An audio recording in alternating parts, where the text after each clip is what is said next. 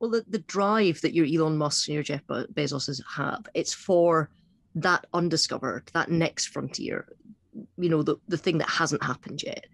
I mean, do you think we will be able to get a, a human on Mars anytime within, you know, my child's lifetime? This is the first time in history that we have actually built a technology that gives us another choice.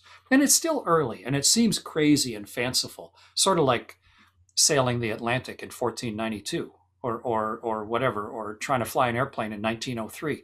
Seems crazy. Or getting to the South Pole in 1911.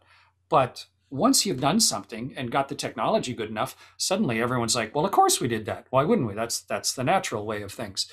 And so I think what drives those two particular men, Jeff thinks that Earth and Moon should be part of one combined economic system. And so we should have permanent settlements on the moon, robotic and, and eventually people, to take advantage of the mineral wealth that exists there, but also maybe to do processing there that we don't want to do on the surface of the Earth because the moon has no life and the moon has no atmosphere, so you can do stuff.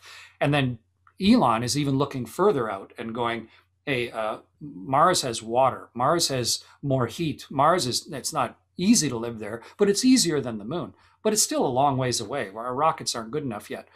But both of them have those as their long term objectives. And when I was born, nobody had flown in space. Spaceflight is younger than I am.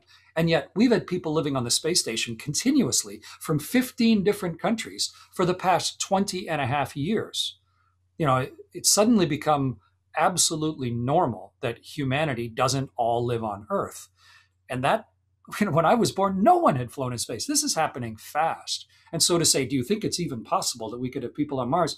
Well, of course it is. It's just a matter of are our rocket ships good enough yet? And do we have the, the various technologies that, that allow us to live in those places yet? And can we make it safe enough so it becomes cheap enough so it becomes a viable choice, just like you know all the other choices we make it just seems crazy because it's still so new and it's outside of the norm um, but but you know I, I, have personal experience to show that it's possible and and in amongst everything else i think it's one of the things that, that we should be putting some of our lucre towards in order to uh, to make that part of of humans humanity's future